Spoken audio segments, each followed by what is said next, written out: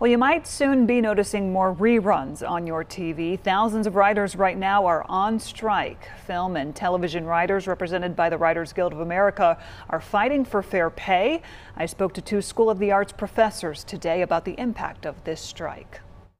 For the first time since 2007, thousands of writers represented by the Writers Guild of America are now on strike. Recently, there were a lot of layoffs in production companies and studios in anticipation of the strike, but also, uh, um, you know, basically to uh, slim down and uh, uh, expect that the, the the freeze is going to basically put the whole, you know, activity to a halt at least for three months. Kim Zubik and Agatha Dominic are both teachers at UNC's School of the Arts.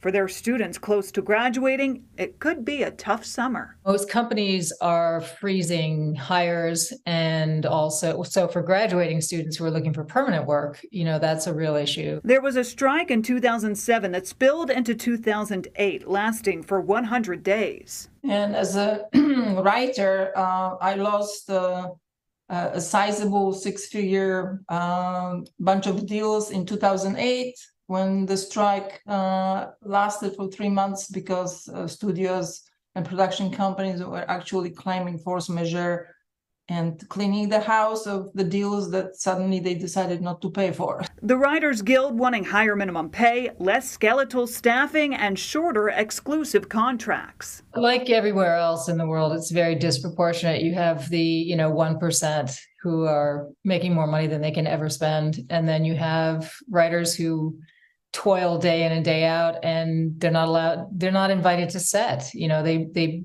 create the template that we all build from and then they're discarded. Writers also concerned about ChatGPT, saying they want to be protected from the impact of artificial intelligence on them as workers. I am a writer as well, but I am primarily a producer. But I have to say, I'm completely supportive of what they're doing, the writers. I think that um, the time has come to face the music and uh, and, and kind of solve it for another 15 years possibly. Writers planned picket lines across LA and New York City today. In LA, there were also demonstrations held outside several offices. That includes that of Netflix, Universal, Paramount, and Sony.